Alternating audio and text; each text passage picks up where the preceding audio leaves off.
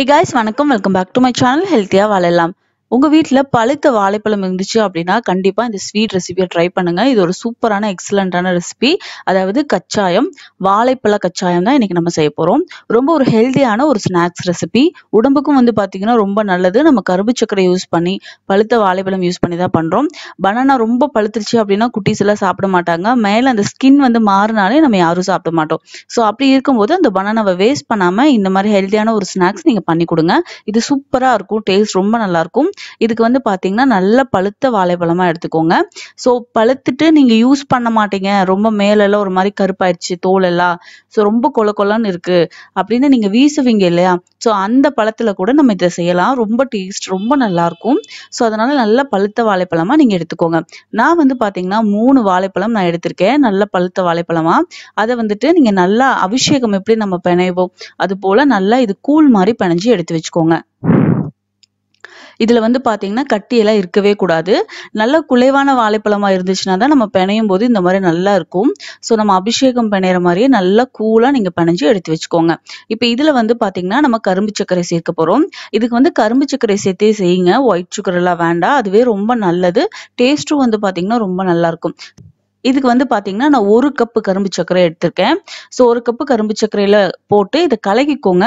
கரும்பு சர்க்கரையும் வந்து பாத்தீங்கன்னா கட்டி கட்டியா இருக்கக்கூடாது.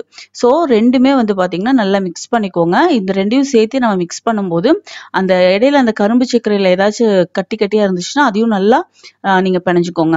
இப்போ இதுல வந்து பாத்தீங்கன்னா அதுக்கு அதுலயே ஈக்குவல் போர்ஷன் வந்து ஒரு கப்பு நான் மாவு அதாவது கோதுமை மாவு நான் ஆட் பண்றேன். மைதா மாவுலையும் செய்வாங்க கச்சாயம் பட் அது அன்ஹெல்தி அதனால நம்ம கோதுமை மாவுல செய்யலாம்.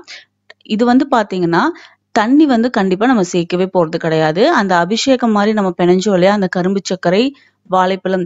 ஸோ அந்த இருக்கிற அதே ஜூசஸ்ல மட்டும்தான் நம்ம மாவு சேர்க்க போறோம். ஸோ அதுக்கு தேவையான அளவு மாவை நீங்க கொஞ்சம் கொஞ்சமா சேர்த்து பணிச்சுக்கோங்க நான் ஒரு கப்பு மாவு நான் சேர்த்திருக்கேன். கொஞ்சம் கூட கட்டிகள் இருக்கவே கூடாது. அந்த அளவுக்கு நல்லா பிணைஞ்சுக்கோங்க.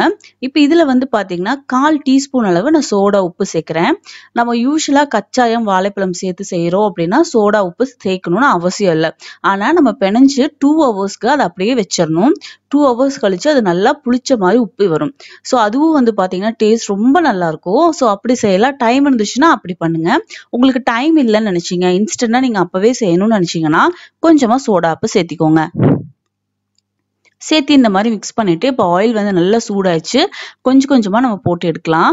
ஸோ இதை நீங்கள் சுட ஆரம்பிச்சாலே மனம் வந்து பார்த்தீங்கன்னா ரொம்ப அவ்வளோ ஒரு அற்புதமான மனம் இருக்கும். ரொம்ப நல்லாயிருக்கும் ரொம்ப உடம்புக்கு வந்து பார்த்தீங்கன்னா ஒரு ஆரோக்கியமான ஈவினிங் ஸ்நாக்ஸ் இது. கொஞ்சம் கேர்ஃபுல்லாக நீங்கள் இதை ஹேண்டில் பண்ணணும். ஏன்னா நம்ம கரும்பு சர்க்கரை வாழைப்பழம் போட்டிருக்கங்க அடிக்கி.